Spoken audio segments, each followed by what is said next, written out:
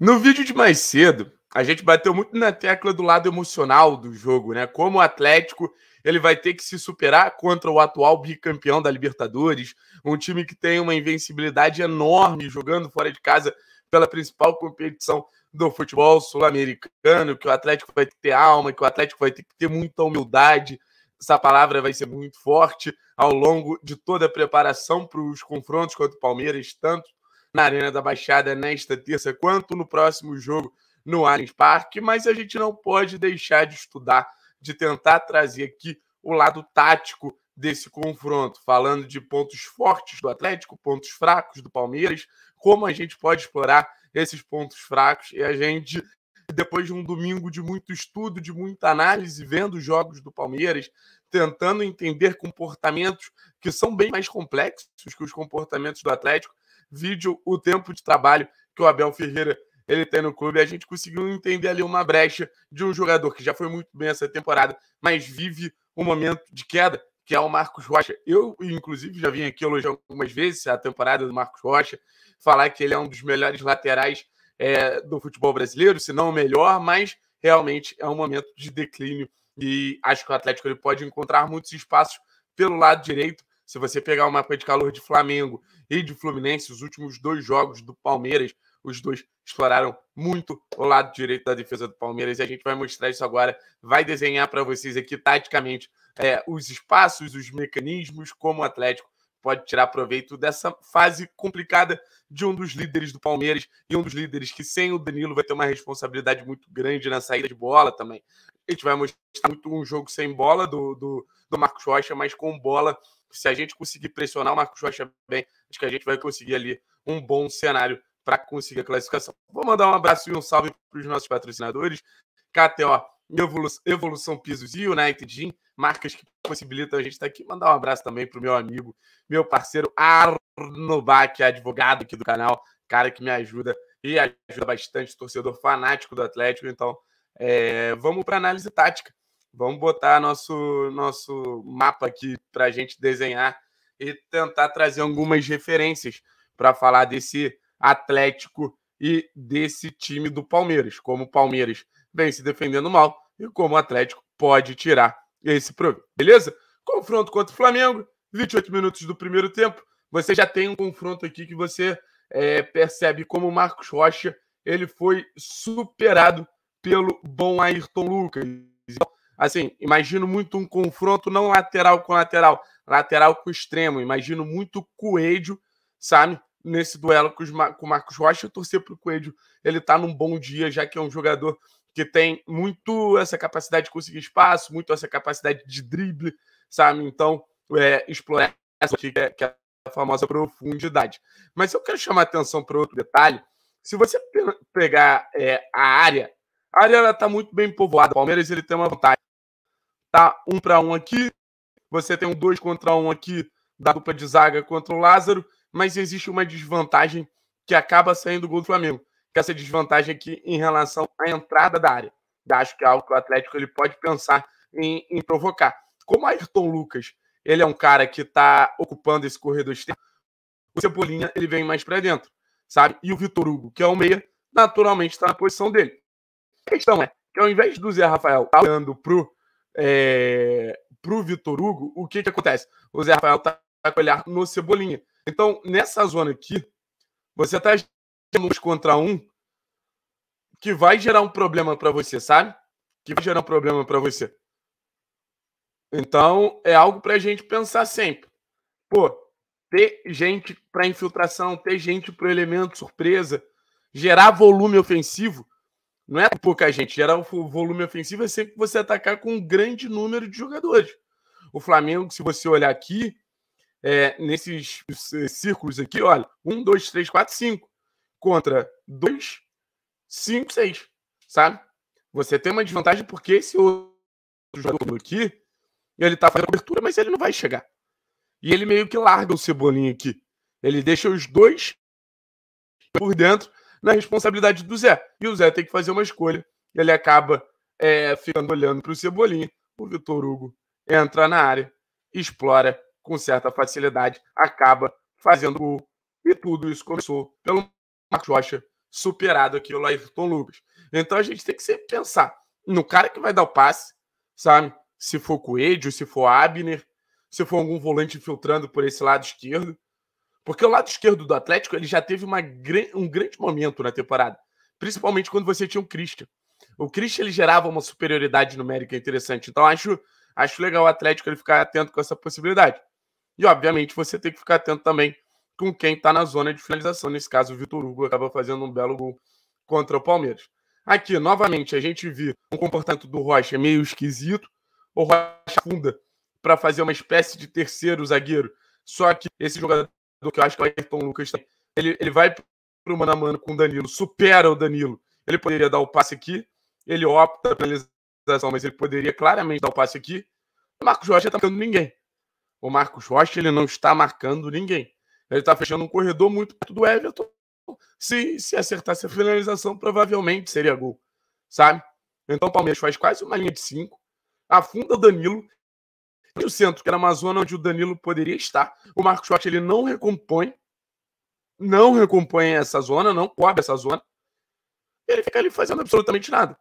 Então é uma situação, acho que até para o Terence ficar muito esperto. O Terence é um cara muito, é, muito bom nessa batida é, da entrada da área, nessa jogada de fundo, porque o Terem chega batendo, sabe? E o Marcos Rocha, ele, a gente tá vendo que ele dá brechas. Quando ele não é superado, ele se posiciona de maneira meio esquisita. Aqui a gente vê uma saída de bola longa do Flamengo. Eu achei bem interessante essa saída. Porque você, assim, eu peguei o print no, no momento do passe, então ele tá realmente curto. Mas você vê o aqui marcando Cebolinha e você vê o centroavante, que é o Lázaro nesse time, é, marcando o, o, o sendo marcado pelo Gustavo Gomes.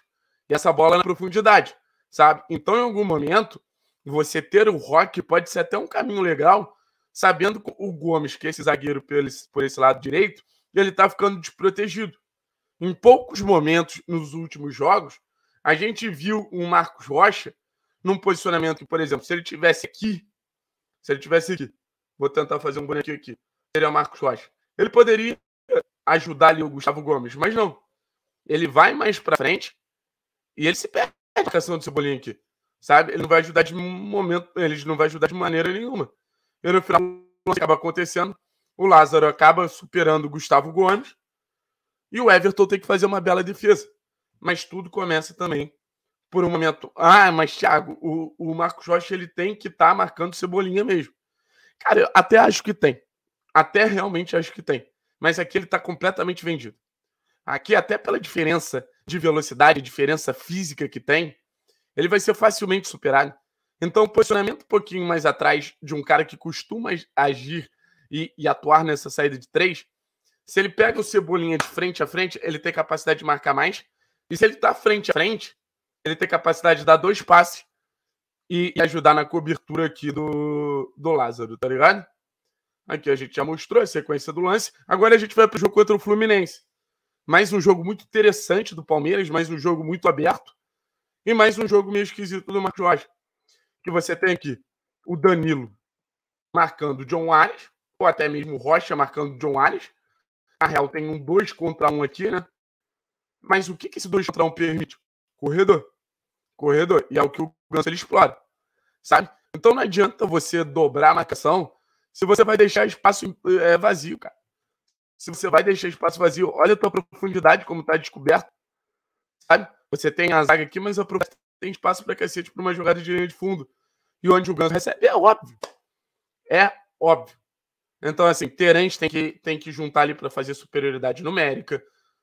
Os volantes, se for o Gumuro e Fernandinho, tem que entender algum com mais movimentação, mais mobilidade para chegar e ajudar.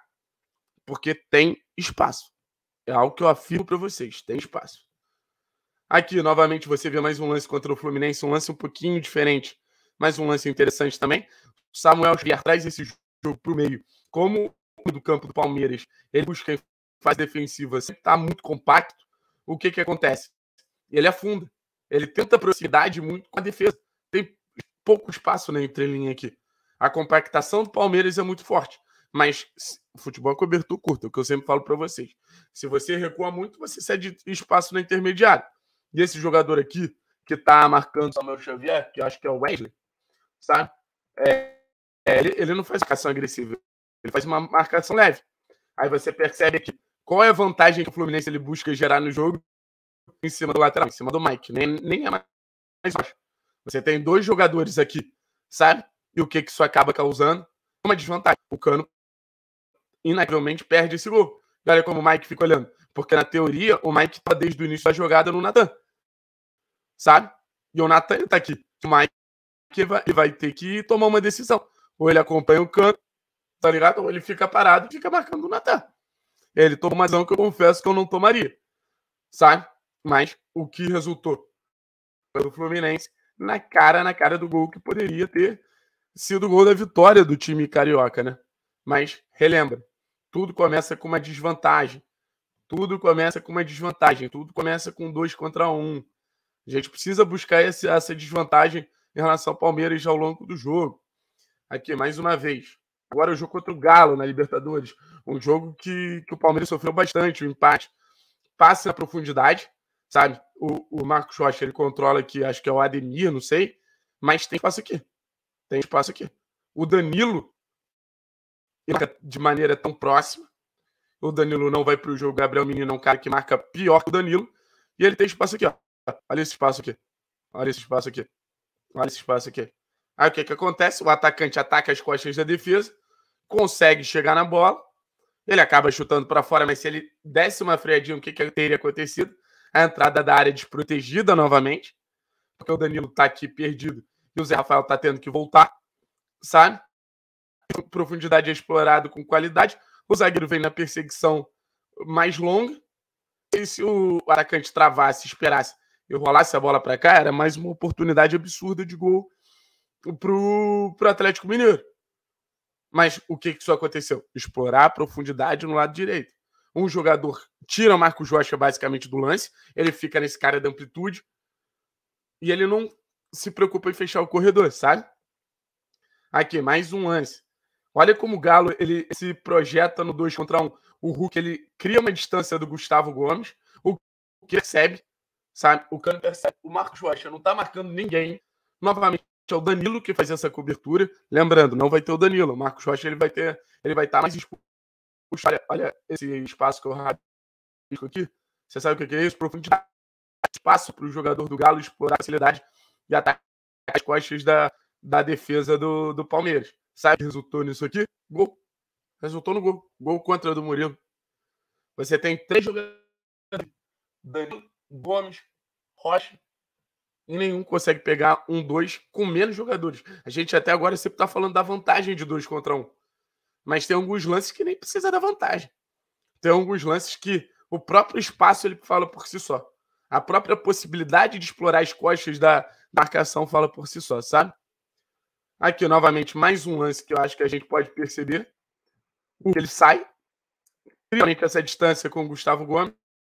Ele tem essa linha de passe com o Keno. O Keno jogando com o pé de dentro para realmente encontrar uma jogada ou até mesmo buscar a finalização. E o que, que acontece? Olha isso. Novamente a profundidade. O que é profundidade? Espaço entre defesa e, e o goleiro. Você percebe como tanto Flamengo, como Fluminense, como Galo acharam espaço com tranquilidade? Isso a gente está falando do Abel Ferreira. Isso a gente está falando do Abel Ferreira. E lance simples. Dois contra um. Um atrás dois jogadores, o outro passa pelo corredor. Repito, lance simples. Sabe? Aí você vem aqui no jogo do Atlético no próprio jogo do Atlético. O que, que acontece nesse jogo?